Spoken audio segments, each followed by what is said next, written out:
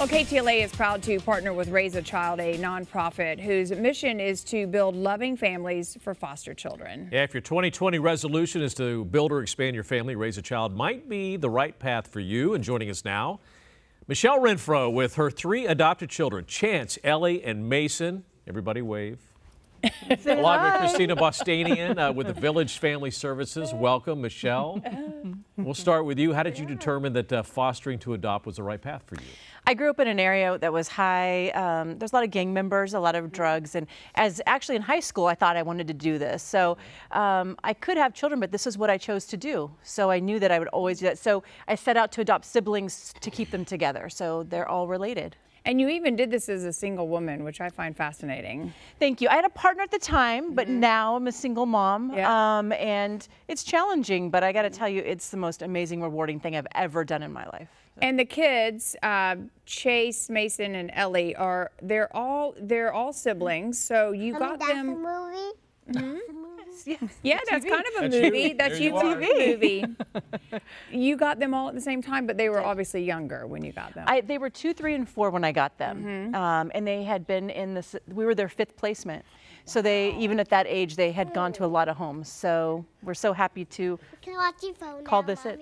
We're, we're on TV. Yeah. so guys, what was it like, Chance? You're the you're the oldest in the family. How how's it been to um, have a, a mommy, a new mom? Do you like being with us? Yeah. Yeah. What's the best part of it?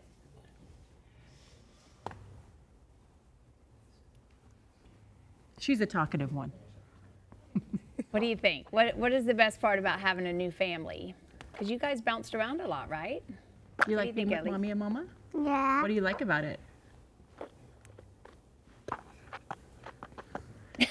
I don't know. Okay, Well, that's all right. okay. That's okay. Christina, what is the percentage of uh, like this situation where you get to keep all the kids together like this? There are a lot of sibling groups, three and more, Yeah. um, that we do try to keep together. Sometimes it's very challenging when there's five, six, or more. So our resource families cannot take more than six children in um, in their home, and that includes their own biological children. So we do make all best efforts to maintain that connection between them. You guys with the uh, Village Family Services and Raise a Child, you guys are partners. You do a lot of work together. Yes, we do. How is that helping the community in terms of like trying to put all these kids together? How are you partnering? Yeah, they're a great resource for us. You mm-hmm. know, they do the recruitment, get the families to us, then we get them through the whole process.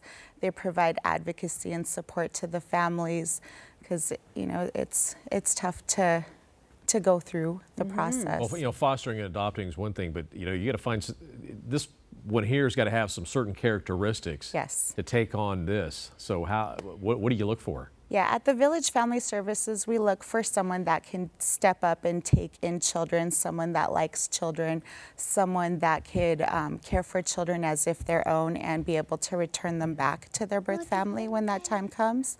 Someone that can provide normalcy for them, stability, security, um, just anybody that's single, married, LGBT.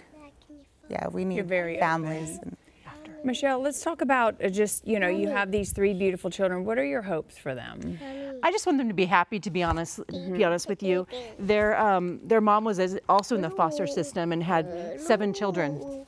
So I'm I'm hoping that they get the chances that their family uh, didn't have, and that they're just happy that they know that they can have anything they want in this life. Yeah. That's my hope. They're this, so one's, this one seems very attached. Yeah. He is. He's my baby, and he runs it a little bit, as you can see. Well, you guys did great on TV. Say thank you for having us. Can you wave goodbye? say bye to everybody that's Bye, watching? Right there. Yeah.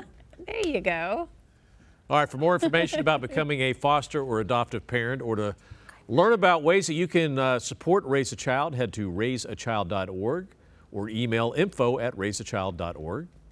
And again, we appreciate you guys for coming in. The outfits are to die for. Thank you. It's very fun dressing all these. and the boots and the little blue suede shoes. Oh, killing me.